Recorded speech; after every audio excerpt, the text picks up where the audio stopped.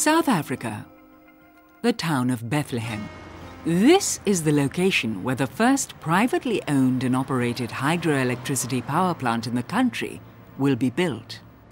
In the past, South Africa was confined to the idea that all electricity should actually come from coal. And uh, all electricity generation plants that has been built and constructed in South Africa was coal-based um, and it has been done in the 1970s. So during the last 20, 30 years, no new electricity generation plants have been established. For a middle income country, South Africa has very high carbon dioxide emissions.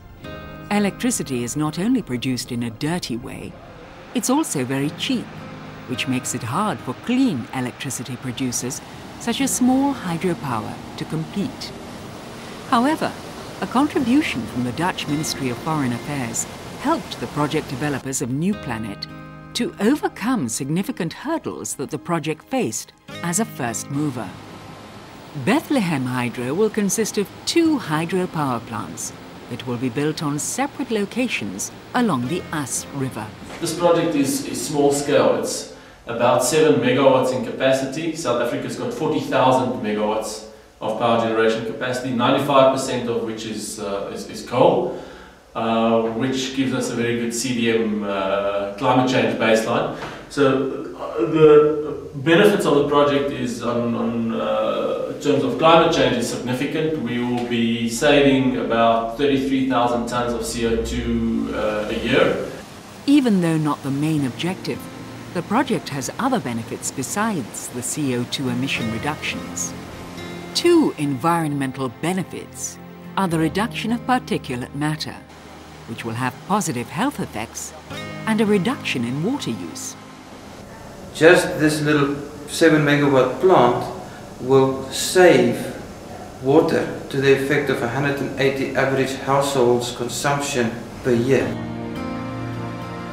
Next to the environmental benefits, there are a number of small social and economic benefits for the local community around Dihlabeng municipality that is buying the clean electricity. Bethlehem will utilize it, as I say, once the project are kicking off. We will actually utilize the fact that it's green electricity to try and promote uh, industrialists or people that are interested in, in investing in Bethlehem mm. using that specific green electricity. The alternative spin-offs will be job creations.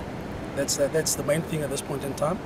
Uh, also, whether it's full-time employment or temporary employment, at least people will benefit. You've got uh, uh, unskilled, semi-skilled, and skilled people. So what will actually happen is the skilled people will get the training, or semi-skilled people will get training to become skilled mm. workers, and the unemployed will be trained. Considering the limited size of the project, these positive side effects will be relatively small. However, one other issue that first appeared to be a major problem for Bethlehem Hydro's development might prove to be its main achievement in the end. Namely, its struggle through the legislative and administrative systems of South Africa, which led to great delays in the project's startup phase. The project faced a lot of unexpected delays in its implementation. Um, mostly due to regulatory reasons. Initially, we thought financing is going to be the big problem. Financing at the end, after you got the licenses, wasn't the, the big problem. The, the, the, licensing issues turned out to be quite complicated um, and unexpected. Uh, our water use license is, is the prime example. That took us three years. Also, for water affairs, uh, giving a license for long term, for private sector uh, hydropower generation was to them something that they've got no experience in and they were quite uncertain about what the risks were involved. It has actually acted as a test case for a variety of legislation that has been passed during the 1990s and the early part of the century regarding water use as well as environmental legislation. It's now opened the door uh, to many more renewable energy and hydro projects coming off. Uh, we know of at least 12 projects in various stages of development in the country. So the footprint, so to speak, of the project goes well beyond the 7 megawatts that it is actually uh, its capacity and what it is going to generate. DAFE has enabled us to sustain this process and to devote the resources. If we, if, if we were doing it entirely at risk, using our own money, for, for, to, to finance all the feasibility studies, to pay the lawyers, to draw up all these agreements, then uh, I think we would have given up. We're two months away from starting construction. Uh, construction will take about 12 months, so we're looking towards end of next year, uh, end of 2007 for commissioning of the plant. Um, and we're already looking at, at more projects.